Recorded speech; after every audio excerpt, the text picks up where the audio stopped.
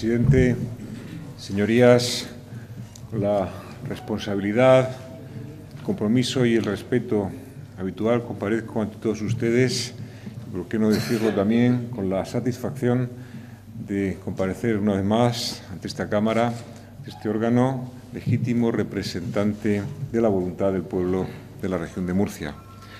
Muchas gracias por su atención, especialmente esta tarde en el que someto a su consideración el proyecto de ley de artesanía de la región de Murcia.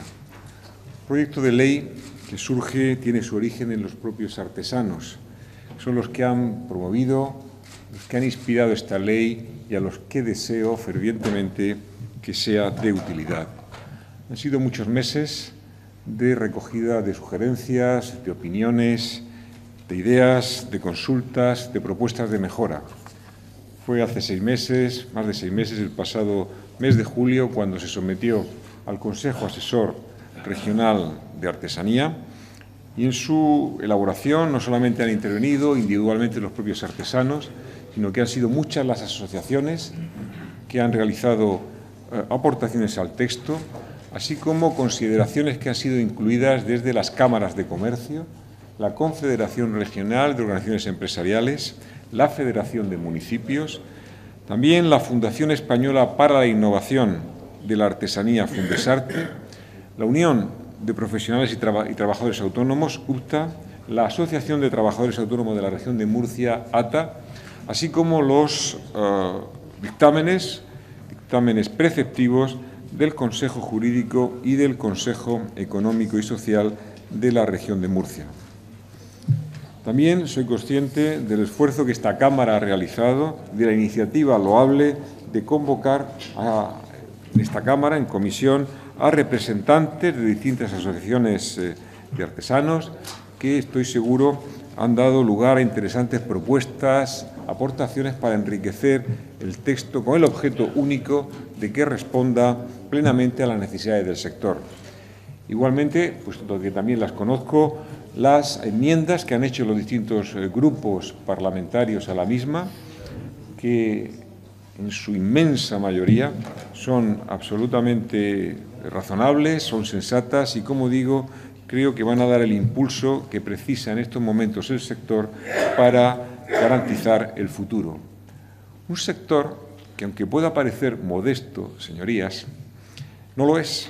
Son 2.200 empresas en las que trabajan más de 8.000 murcianas y murcianos, que tiene un volumen de negocio de 100 millones de euros anuales, lo que supone el 0.4% del Producto Interior Bruto. Es decir, que eh, es una aportación claramente significativa a la economía de la región de Murcia. Pero estamos hablando de un sector en el que no solamente debemos mirar a la parte económica. Es un sector que no se mide solamente por los euros que produce o por los beneficios que aporta, puesto que junto a ello tiene algo, tiene una serie de elementos característicos, peculiares, de idiosincrasia propia, que tienen que ver con la cultura y con la historia. Parece difícil conllevar cultura y economía, tradición e innovación, arte y técnica. Y eso, eso es precisamente la singularidad, la peculiaridad del sector artesano, que combina sabiamente elementos aparentemente antitéticos como los que acabo de decir. Un sector, en definitiva, sobre el que las administraciones no solamente debemos procurar su desarrollo económico como garantía de futuro, sino al mismo tiempo como elemento característico para la conservación de unas costumbres, de unas tradiciones que han contribuido a conformar nuestra única y privativa manera de ser, nuestro acervo cultural. Junto a ello, como les digo, este proyecto de ley también tiene una idea clara y es modernizar el sector de la artesanía a través de la innovación y del diseño. Si me lo permiten, podríamos decir que en el sector de la artesanía su origen es la tradición, pero su futuro es la innovación. Las empresas artesanas, como otras muchas de la región de Murcia, tienen su característica, son pequeñas empresas, en muchos casos microempresas, generalmente de menos de 10 trabajadores, que deben no solamente conocer las técnicas de producción, son auténticos empresarios, no solamente son artesanos, son personas que deben incorporar la gestión empresarial, las nuevas tecnologías, deben al mismo tiempo tener nociones de comercialización y, por supuesto, invertir permanentemente en la formación. Las líneas principales por las que circula, por las que transita este proyecto de ley que hoy someto a su consideración son cuatro. Vienen determinadas por cuatro conceptos. Innovación, comunicación, comercialización y formación. En primer lugar, la mejora de la competitividad del sector artesano a través de la innovación y el diseño. En segundo lugar, la mejora de la comunicación a través de la imagen de marca de los productos artesanos. En tercer lugar, la mejora de la comercialización a través de nuevos canales de venta, de la promoción de las ventas no solamente en la región de Murcia, sino en otras regiones de España e incluso fuera de España eh, en, coordinación con otros sectores como el turismo o la cultura. Y por último, la formación, la necesaria y absolutamente imprescindible formación de los artesanos. En definitiva, queremos fomentar un sector artesano que sea sostenible, social, económica y medioambientalmente y que sea reconocido por sus estándares de calidad. Fomentar dentro del sector artesano por las nuevas tecnologías, la innovación, en un momento en que la sociedad, la información y el conocimiento todo lo invade, lo invade puede parecer un fenómeno paradójico. Sin embargo, hemos de diferenciarnos, hemos de entender que no todo son grandes cadenas de productos elaborados en serie, que no todo es uniformidad en nuestra sociedad, que no todo es homogeneidad, sino que la heterogeneidad, la necesidad de diferenciarse e incluso de identificarse, porque el sector artesano no solamente nos diferencia, sino que nos identifica como un pueblo concreto con unas características peculiares. Y al ser precisamente en ese ámbito donde se abre hueco el sector de la artesanía, precisamente en el sector que más, en el aspecto que más debemos incidir para potenciar este sector, esa exclusividad, esa peculiaridad, esa diferencia, ese diseño, esa elaboración artesanal propiamente dicha para dar lugar a productos singulares desde la innovación para que sea una nota diferenciada. Desde el punto de vista formal, la ley que hoy presentamos se estructura en siete capítulos, con un total de 54 artículos, dos disposiciones transitorias, otra derogatoria y dos disposiciones finales. Con esta normativa queremos adaptarnos también, el sector artesano, regularizarlo de acuerdo a la normativa europea, eliminar obstáculos que se oponen a la libre circulación, así como adaptarnos a la Carta Internacional de la Artesanía. Hay que diferenciar lo que es artesanía de lo que son manualidades, que son cosas absolutamente distintas. Dentro de la ley también se establecen dos conceptos distintos, lo que es la artesanía creativa y lo que es la artesanía de la alimentación. Las principales novedades que incluye esta ley las resumiré en cinco puntos. En primer lugar, pretende la mejora de la competitividad a través del diseño y de la innovación.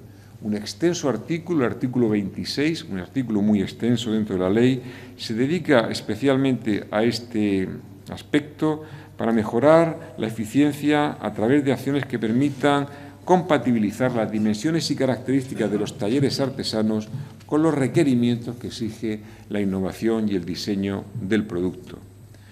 En segundo lugar, queremos mejorar la comunicación a través de la imagen de marca de los productos artesanos. Esa marca artesanía de la región de Murcia, esa marca región de Murcia, incluida también, ¿por qué no?, dentro de esa marca que nos engloba a todos, que es la marca España. Una marca reconocida que supone para los consumidores una garantía y una mayor confianza que potenciaremos a través del etiquetado de los productos.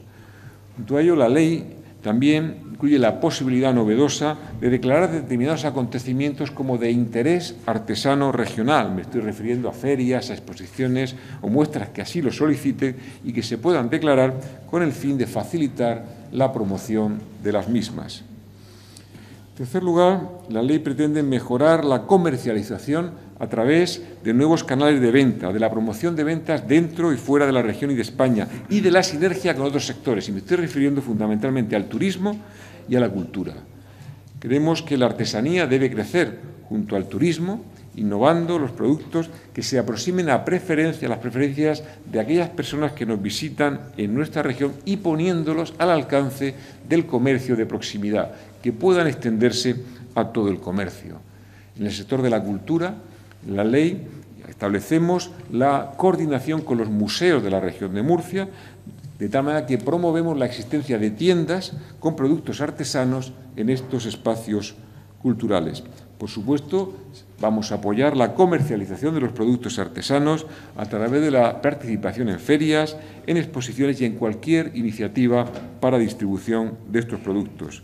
Queremos potenciar los centros regionales de artesanía, así como las casas taller que se encuentran en diversos municipios de la región. Por último, la formación de los artesanos a través de su cualificación profesional, de su vinculación con la formación profesional, con la técnica y con la eh, empresarial de los artesanos, de manera que estos tengan también una mayor capacidad de adaptación a los cambios económicos y sociales. Junto a ello, en quinto lugar, tenemos también que desarrollar, como en otros ámbitos, la simplificación de los trámites burocráticos, de tal manera que sea eh, una cosa tan simple como una declaración responsable por parte de los artesanos para poder iniciar su actividad o realizar las obras necesarias en los locales para su puesta en marcha. En la región de Murcia contamos con un sector artesano desarrollado e importante y pretendemos con este instrumento legislativo incidir en políticas que revaloricen la artesanía como sector económico pero no solamente como sector económico, como he dicho antes, sino como parte fundamental de nuestro patrimonio cultural, como embajadores de nuestra región, pues hoy no podemos olvidar que cuando exportamos productos artesanos lo hacemos bajo la marca Región de Murcia, bajo la marca España. Los poderes públicos, el Gobierno, esta Cámara y todas las administraciones tenemos la responsabilidad de proteger, de cuidar, de mimar la artesanía de nuestra región como un legado de nuestros antepasados, pero también como una responsabilidad hacia las futuras generaciones de murcianas y de murcianos.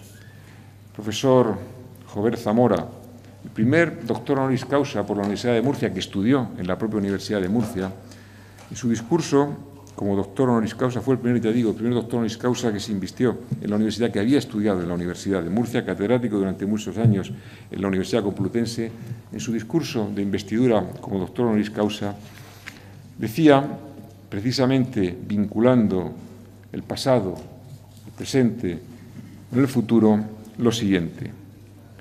Somos tiempo, somos herederos de un pasado, pero tenemos la responsabilidad de un porvenir. Muchas gracias, señorías. Muchas gracias, presidente. Gracias, señor consejero.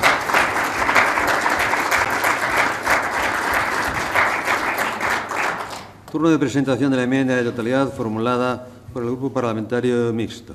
Tiene la palabra su portavoz, el señor Pujante.